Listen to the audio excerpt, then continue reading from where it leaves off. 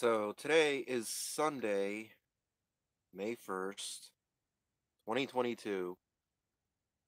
And I'm officially today, as of today, going to be late again on the rent. Which, for some of you who may be new here, may be wondering wait, I thought your title said you're homeless. How can you be late on the rent? Well, newsflash for some of you guys who uh, who don't know, who aren't in the loop, so to speak.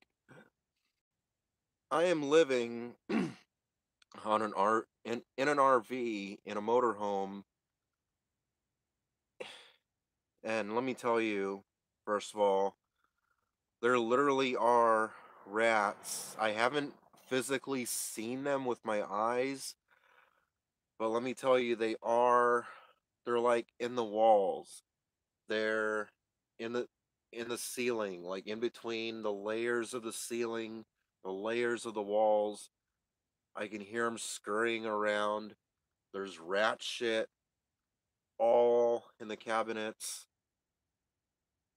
Um, another thing I wanted to touch on real quick is I I, I disabled the comments because uh, I got to get to bed. Basically, I've been up all night ever since my shift ended, and I got to start my shift later on. yeah, I just been kind of like laying here, and you know, just it's just it, it's everything has just been getting to me. All the pressures of everything, just it, it, it's just making me want to cave in. I I just don't know anymore or what I'm trying to say here, but it's just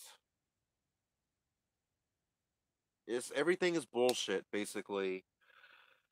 I am working closer to about 35 hours a week. What you guys saw in the, schedule in that previous video of mine, that's I mean, that's that I, I mean, I I don't know how it's really or I don't know, it's kind of weird the place that I work at, but like they put your schedule on there, but if they need you longer, I mean, you like you can work over but you have to stay under six hours because if you're not taking a lunch break and you work over six hours, then you know it turns into a whole mess. You know, with labor and all that stuff. So it's closer. You know, like I, noticed some of the trolls already making fun of me, saying, "Oh, you know, I'm working thirty hours a week." Blah blah blah blah blah. B for T, scammer. Boo boo boo boo. I'm so sick of this bullshit. Anyway, I'm gonna try to stay on topic here. That's that was another reason why I disabled the comments because I was trying to stay on topic and not like get pulled off left and right. But I just wanted to make my point, you know, that I, I'm I'm working here. I'm employed, for fuck's sakes. You know, everybody kept screaming at me for for like the longest time, for like over two years, ever since I got fired by Amazon for, refusing to get refusing to suffocate in a soggy mask in their stupid hot warehouse. Everyone's been screaming at me all this time. Get a job, get a job, B for T, scammer, quit begging, quit e-begging, get a job, boo, boo, boo, boo. So, and then I finally, I went out, the mask mandate ended, finally got dropped. I could finally work again maskless for the first time in over two years. I'm working nearly full time. Okay, it's it's closer to about 35, even closer to 36 if I'm like really pushing it. Um, so it's really close to full time. And actually, as of May 1st, today is nearly exactly the one month anniversary of my new job. And here I am sitting here in another RV on the street with rats in the layers of the ceilings scurrying around and there's nothing that my cat can do. I'm sure you guys were wondering about that also. There's nothing that my cat can do if the cat if you know if the rats are in between the layers of the damn ceiling like and plus I wouldn't want to subject my cat to that anyway because I'm sure she could kill rats but I don't want her getting bitten and possibly infected with God knows what you know, having all these injuries and infections and all this shit. I, I I just don't need that. She doesn't need that and all that pain and suffering. So anyway, I'm gonna try to make this kind of short-ish. Uh, I mean, I I don't always say that, but um, that's what another reason why I, I uh, disabled the comments there was I'm trying to really stay on topic here. Just trying to make my point real quick. this is just too much. This is just it's taking such a huge, huge, huge, huge mental and emotional toll on, on just everything, my, my psyche, my well-being, my my just everything. And I'm really trying my hardest to keep, you know, just to hold myself together and to keep working and keep pushing forward and all this and that. You know, as I said, I've been working nearly one full month. My one year, uh, one year, my one month, I'm really tired. Uh, anniversary here was April 2nd. If it would have been April 1st, all the trolls would have never believed me because they would have thought it was just an April Fool's joke. But anyway, so it just happened to be April 2nd was my first day of work. And here I am, May 1st, almost exactly one month later, and about to be late on the RV rent, about to be late on rent to be homeless here in Los Angeles, California. Like, eh, I, I, I, it just feels like I've got to be living in an episode of The Twilight Zone or something. This is just utter fucking ridiculous. Like, how is this possible that, you know, because I was already behind. I was already a depressed fucking mess before I got this job. I was already, you know, falling behind on everything. And then I got this job. I saw working, you know, really putting in all my effort, all my, ener- you know, energy and effort and, you know, into this job being sore and aching every day, six days a week, and then having to wait for those paychecks to come in as I, all meanwhile, I'm falling further and further and further behind, and then I'm waiting for these paychecks to come in, and then I'm having to pay late fees on everything, overdraft fees, all this bullshit, and it's just, ah, this is what I mean. Like, I'm really trying to stay persistent you know, just keep trying to push forward. But this is just really fucking frustrating. The fact that I'm, you know, really, I'm really giving it my all here, pushing and pushing and pushing and pushing to the point that, like my whole body is aching. I'm sore. I'm in pain. And yet I keep pushing. Yet I keep, you know, trying to endure, trying to survive. And, and all the meanwhile, I don't want to get eh, get into all the details into how and or, or why and stuff, but I was made to move into a different RV.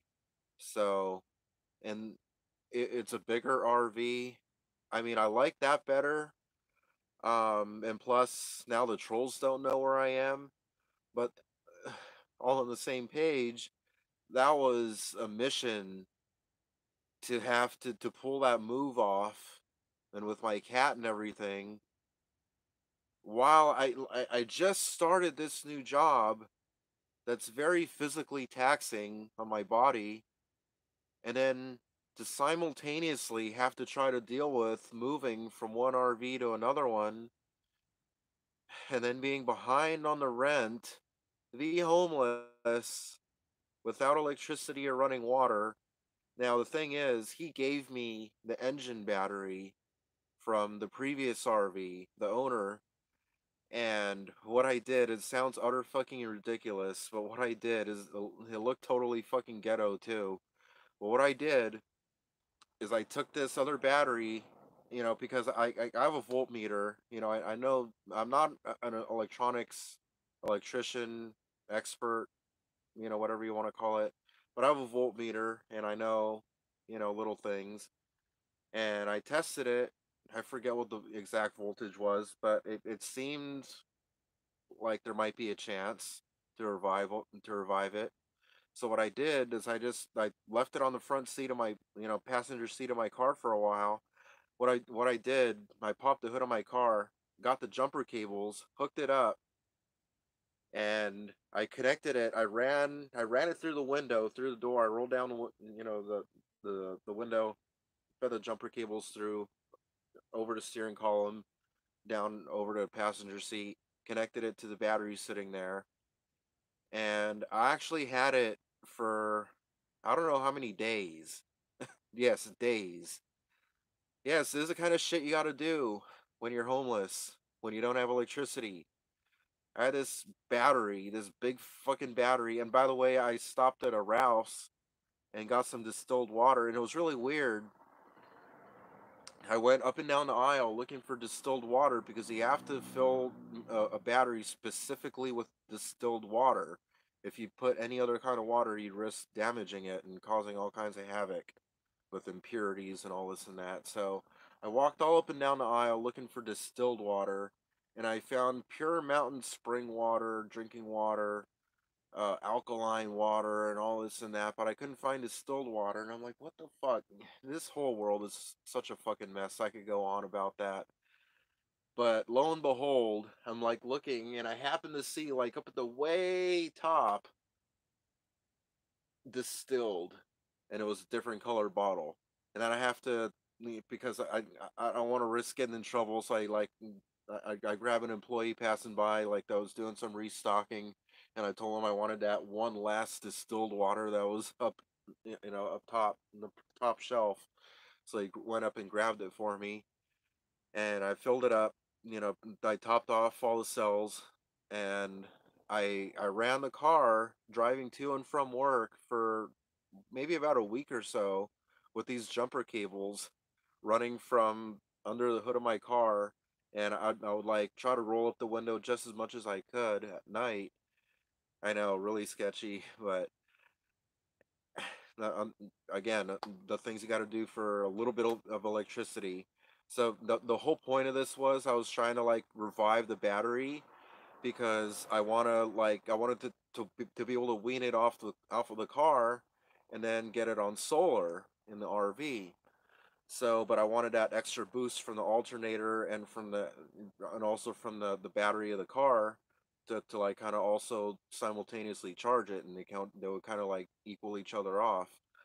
Anyway, long story short and kind of getting or or rather short story long because I'm kind of getting all crazy into details here. Oh my goodness, but so where was I? Oh yeah, so I was trying to, re- revive this battery and I'm checking it the whole time with my voltmeter and I I it seemed that you know to get to, to you know to an acceptable level it was over 12 like over 12 like twelve point six, twelve point seven volts. So that's indicative of a good battery. So I finally took it out of the car, and so I so I could finally roll up my window all the way and open my door all the way when I get in and out. That was so annoying. I couldn't even open my door all the way. But anyway, so I could finally put all my jumper cables and all that stuff away, and uh, it was just such such a fucking hassle. But I got this battery that was now topped off, and I put it. It, it, just so happened to fit I'll do a video on that in the future, upcoming, not hopefully not too dis, not too distant future. It just so so happened to fit perfectly in a little cabinet uh, over like the toilet, and I got my five watt solar panel. I threw it on the on the roof through the the, the opening on the you know the little the, the ceiling window, and ran the cable down, did all my little connect- connections and stuff. I, I need to add fuses though, and a charge controller, which I haven't done yet. But in the meanwhile, I have this RV engine battery, not not the cab battery. It wasn't a cab battery. It was engine battery that was used just to start the engine. Up in a cabinet in this other RV that I'm living in now with rats living in the in the ceiling layers and I've got it all hooked up to a little 5 watt solar panel. And for now, I can actually charge my phone and have a little bit of light. But I mean, like that, like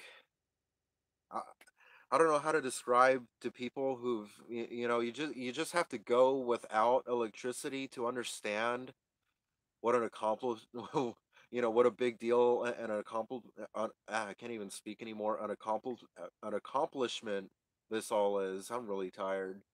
You know to be able to just have a little bit of light and to be able to you know just uh, to plug in my phone next to the bed and charge and not like wake up and have a dead phone and then have to like wait until you know I get up and go to the car until I can finally recharge.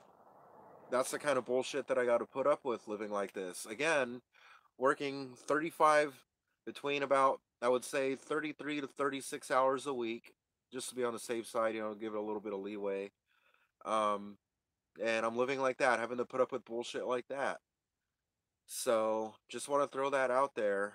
You know, do a little update here, the kind of bullshit that I'm dealing with, you know, how I'm living.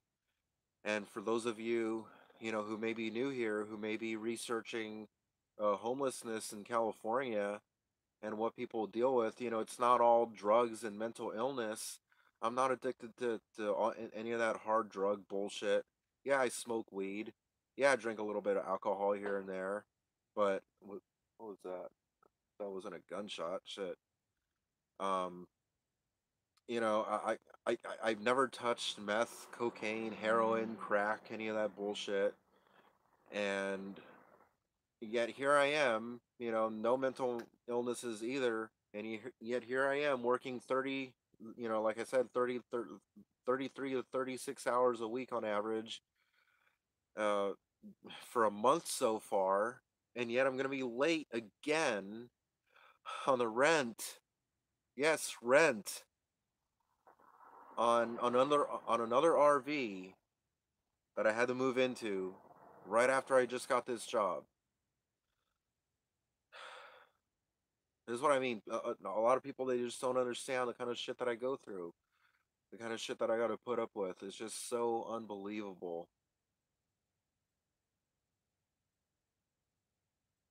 Oh, and the other thing, if I don't start sending payments to my dad ASAP, I'm gonna lose my car. Yes, working. Yes, employed. I'm working. Yes, I'm actually working. I'm doing all I can here.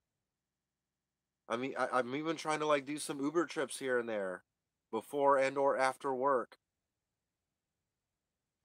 And I'm about to lose the damn car. Just fucking kill me now. Holy shit. I'm gonna wrap this up on the 20 minute mark, going on just over 18 minutes now. 28 viewers, nine, just nine, nine thumbs up. That's it. Man, fuck. Can I get it up to at least 10, 11, 12? No. Uh, anyway, I'm just, uh, I don't know. I think that's pretty much all the points that I wanted to make. All the main points. Uh, leave your comments down below since I disabled the live comment, the live chat, whatever they call it now. And if you can, please, please, please, please, Cash App Brian Fritz, dollar sign Brian Fritz one two six, all one word. Um, PayPal.me forward slash Brian Fritz as well. I believe that's the link if I remember right. I'm really tired. Get into contact with me as well. One eight zero two seven three eight zero one two six is the hotline number for this uh, channel that I have set up. Once again, 1 802 738 0126. 1 802 738 0126.